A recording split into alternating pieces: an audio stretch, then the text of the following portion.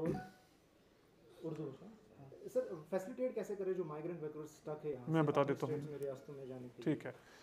अ, हमारे पास बहुत सारे स्टेट से जो माइग्रेंट वर्कर्स यहाँ पे थे लगभग सत्रह हज़ार से ज़्यादा उनकी तादाद यहाँ पे थी। अ, पिछले लगभग दो ढाई महीने से हमारे पास वो यहाँ पे थे उनको राशन वगैरह बाकी जो बेसिक रिक्वायरमेंट थी हम दे रहे थे। उसके बाद मेडिकल स्क्रीनिंग भी की गई और डिफरेंट स्टेट से रबता किया गया जहाँ के ये रहने वाले थे उनको डिटेल दी गई है।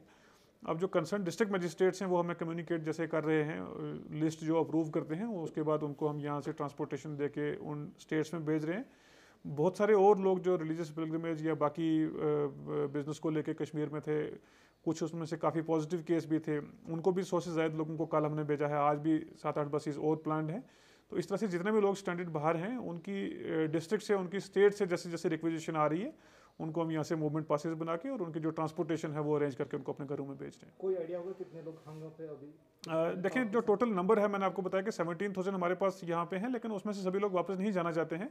लगभग तीन हज़ार के आसपास अभी जो ऐसी रिक्वेस्ट हैं जो जाना चाहते हैं तो उनमें डिस्ट्रिक्ट से अराउंड सिक्स हंड्रेड की हमारे पास रिक्वेस्ट आई थी जिसमें से चार सौ अस्सी अभी तक जा चुके हैं। बाकी आज हम भेज रहे हैं। जैसे जैसे कंसर्न डिस्ट्रिक्ट से हमारे पास कम्युनिकेशन आता है तो उनको अकॉर्डिंगली एज पर एस हम यहाँ से भेजेंगे थैंक यू थैंक यू